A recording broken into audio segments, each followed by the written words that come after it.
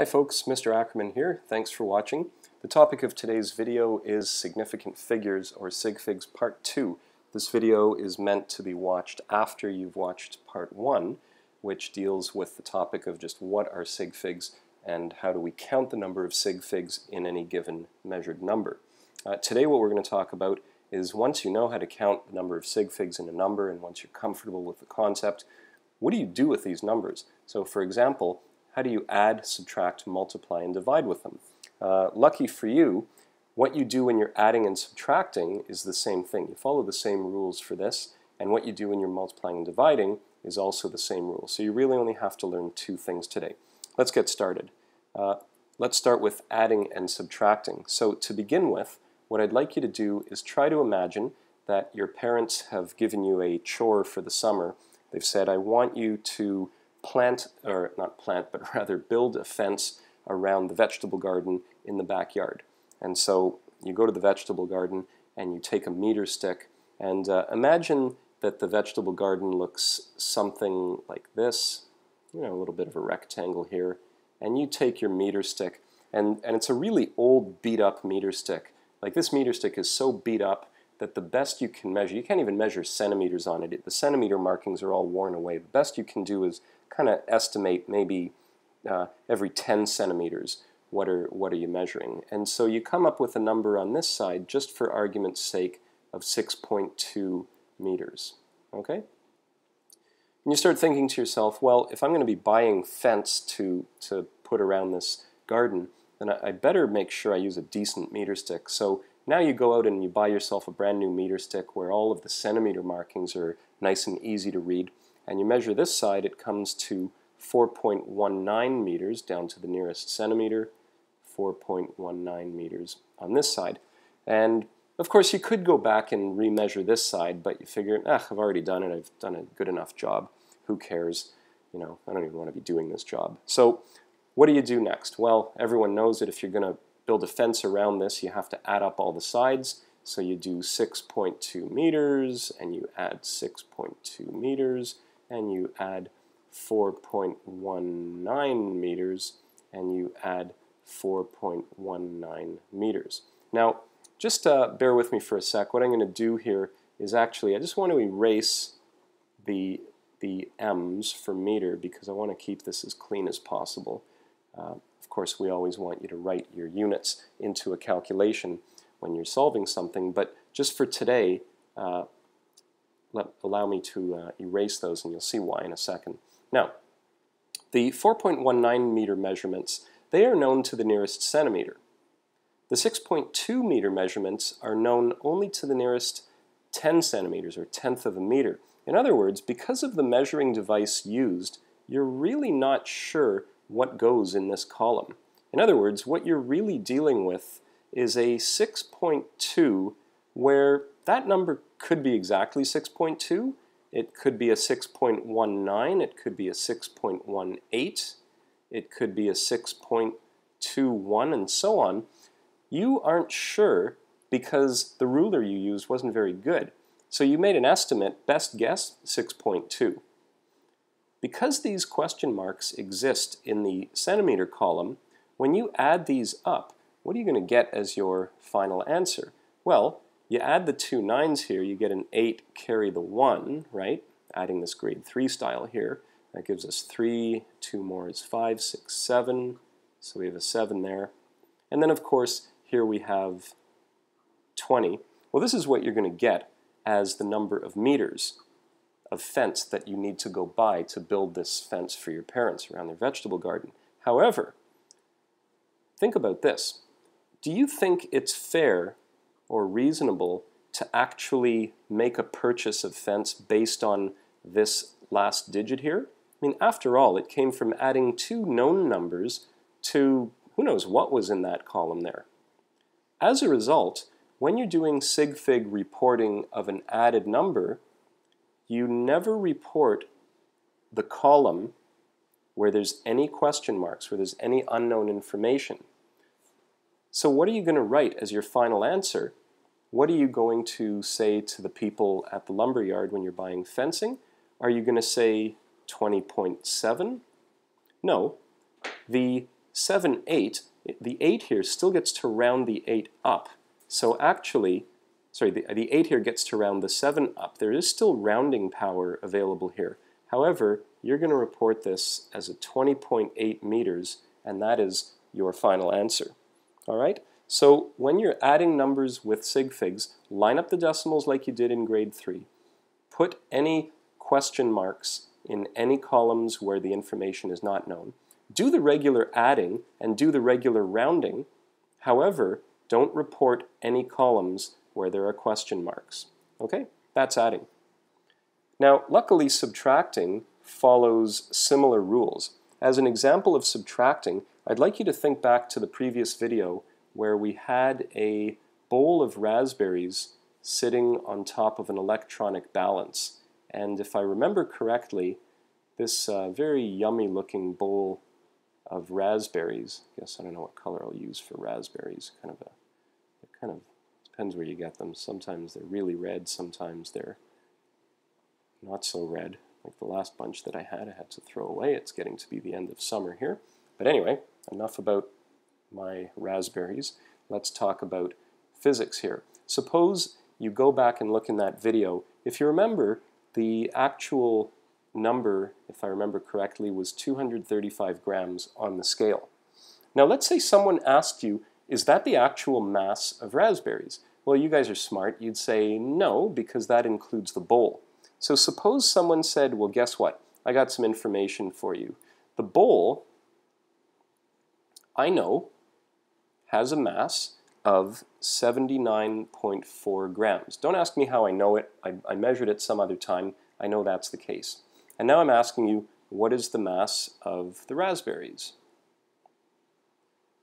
And you go, oh, well, that's pretty easy stuff. You do 235 and you subtract 79.4. Of course, you remember what you learned in grade 3 where you're supposed to add up, or sorry, line up the columns here. Now, there is no point zero in this number here. That's because of the quality of the scale you're using. However, we can still put, like what we did over here, we're going to put a little question mark after the decimal point here. And now we're going to go ahead and add, or rather subtract. So what are we going to get here? Well, this number comes to 155.6. However, just like here, you're not allowed to report a column that has question marks, same thing goes for here. You cannot report this last column because the two numbers that went into making it contain some uncertainty, some unknownness. So, your final answer is going to be 155. Is that what it's going to be? No. Just like the crossed out number still got to do a little bit of rounding up in this case because it was an 8, this number here gets to do a little bit of rounding up because it's a 6. So we don't get 155, we get 156 grams as the mass of the raspberries. All right, so very similar styles for adding and subtracting, pretty straightforward. All right, if you have any questions, then uh, you can watch this again because you may have missed a few of the things that I mentioned, or you can ask in class, or you could even do some looking up online to get maybe an alternative explanation. Okay, we're going to keep the pace moving by going on now to multiplying and dividing. So this time, let's start with multiplying. I'd like you to imagine that now your parents have said, oh, um, and by the way, we don't only want you to build a fence around the vegetable garden, we also want you to replant uh, a, a separate garden somewhere else in the yard. And you go, oh, guys, come on, are you serious? And they go, yep, it's the summer, you're off, you can do some work around the yard. So here's our other plot of land that we're going to do some planting for. And this time, because you're planting, planting involves covering a whole area with you know, soil and seeds and all that. So this time you're not going to be calculating a perimeter the way you did in the fence example. You're going to be calculating an area.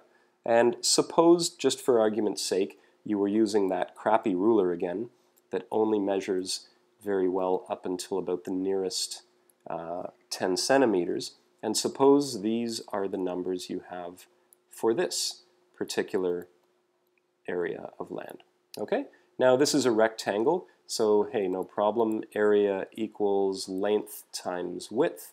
You're going to do 4.3 times 6.5. And that number, if you run it through your calculator, comes out to 27.3. Okay. Oh, actually, sorry. I apologize. I just realized I made a little mistake. Uh, I wanted this number here to be a 6.2, and I'll, you might see why in a minute. It's because sometimes as teachers, what we do is we, um, we rig up our questions so that they lead to a certain result because we want to show you something. So I apologize there. It doesn't really matter too much from your point of view. I did want this to be a 4.2 meters and that to be a 4.2 meters. So I apologize. I'm just going to do a little more erasing down here. This should be a 2 there and we're done. We go back 4.2.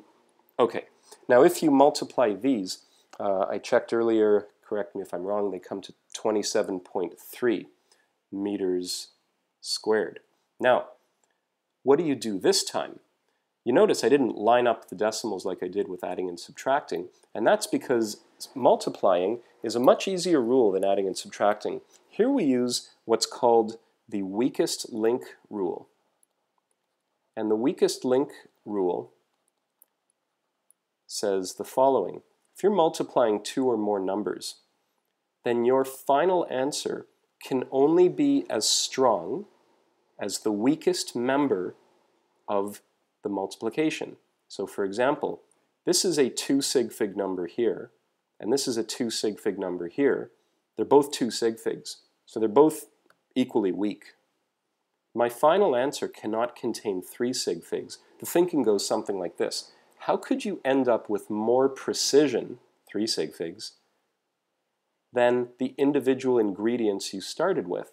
It's kind of like imagine if you were in in a, in a game, you're playing a game like a, a team sport. Isn't it kind of true to some extent that the team is only as strong as its weakest player? In other words, a weak player holds back the team. If that weaker player were replaced with a stronger player, the team would do better. Okay? The only way to do well if you have really weak players is just to not play them. Otherwise, they're going to hold you back at some point. Well, the same thing goes with multiplying. You look to the number of sig figs in the numbers that went into the calculation, and you go with the weakest link. In this case, they're both two sig figs, so your final answer can only have two sig figs. Rounding rules apply, so this is going to become a 27 square meters as a final answer. In this case, I rounded down because the 3 doesn't round the 7 up. It just goes back to 7 over here. 27 square meters is the area. Okay. Let's take a quick look at dividing and see what happens. This time, let's think of an example of, with dividing that you'd be familiar with. Suppose um, it's grade 9 again, grade 9 science, and I give you a rock, and I tell you to find the density of this rock. Do you remember finding density? Whoops, sorry, I'm having some, as those of you who have been watching know, this happens every once in a while. I end up doing something I have no idea why this happens, but I end up zooming crazily in and out. Okay, there we go. Sorry. Back to the topic at hand. We're calculating density, and if you recall, density, you learned in grade 9, is mass divided by volume. And if you remember, what you did was you took the rock and you put it on a scale and you measured its mass. Let's suppose its mass is something like 33.2 grams. And then there are a number of ways you might measure the volume. If you remember with an irregular shaped object, what you do is you dump it in into what's called an overflow can that's full of water, and the water that spills out through a little spout, you catch that into a graduated cylinder, and that's how you get the displaced volume of the rock. But anyway, getting back to this, let's imagine that the rock had a volume of 12.85 cubic centimeters. And now you're going to go about calculating the volume, or the density rather, so we write density equals the mass, 33.2. I'm leaving out the units now because I just want to focus on the sig figs. And you get this. Now if you run that through your calculator, the number comes out to something like 2.5876 and perhaps more. I don't have the number on my calculator in front of me. I did the calculation earlier. Uh, this would be grams per cubic centimeter, so grams per cubic centimeter. But remember, we're not so concerned with the units. We want to focus on how many sig figs in the final answer. Well, once again, we use the weakest link rule. The thought in dividing is the same as in multiplying. Your final answer can never be more precise than the least precise number of the ingredients that went into calculating it. Just like thinking about that team again. You're never going to have a very strong team if you have weak players. So looking at this number here, we see there are three sig figs, and over here we see there are four sig figs. Clearly, the weakest link is the three sig fig number, and therefore the final answer can only contain three sig figs. That's going to be a two decimal something something. However, if we look at the ending numbers, even though we're not going to include those, they still get to influence the final answer in terms of rounding. Because this is higher than, or this is a 5 or higher, it's a 7, we are going to round the 2.58 up to 2.59. That'll be grams per cubic centimeter, and voila, you have yourself a correctly sig-figged answer. All right, so to recap, multiplying and dividing, easy. Use the weakest link rule. Look at all of the numbers that went into the multiplication or the division, or if you did a little bit of both, then look at all of them at once. Find the number with the least number of sig figs. Make sure your final answer contains that many sig figs only. Of course, do consider rounding before you do sig fig your final answer. And then just recapping with or adding and subtracting, just like in grade 3, line up the decimals like you used to. Okay, do your adding and subtracting, do your rounding, sure. However, don't report any column where there was a question mark. In other words, where there was at even one number in the adding or subtracting where that column was not known due to lack of sig figs, lack of precision. Okay, folks, and that's all there is to it. Uh, there is some practice for you to try in uh, your course pack, and if you want even more practice, go online. There's tons of practice. Just type in adding, subtracting, multiplying, and dividing with sig figs. I'm sure you'll find online examples. Uh, that's it for today. Hope that wasn't too long. Thanks for watching, and I'll see you next time. All right now, take care.